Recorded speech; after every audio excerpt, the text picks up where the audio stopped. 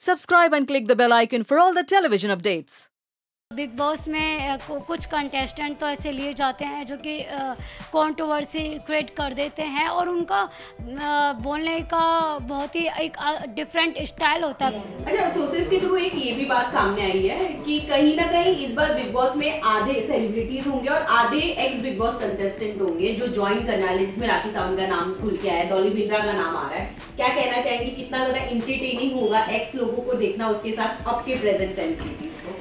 Yes of course काफ़ी entertaining तो रहेगा क्योंकि you know you know guys you know very well कि बिग बॉस में uh, कुछ कंटेस्टेंट तो ऐसे लिए जाते हैं जो कि कंट्रोवर्सी क्रिएट कर देते हैं और उनका uh, बोलने का बहुत ही एक डिफरेंट स्टाइल होता है बहुत ही बिंदास रहता है जहाँ पर कंट्रोवर्सी क्रिएट हो ही जाती है। तो I am excited I am so excited कि अगर ऐसा कुछ होगा तो यस बहुत मज़ा आएगा।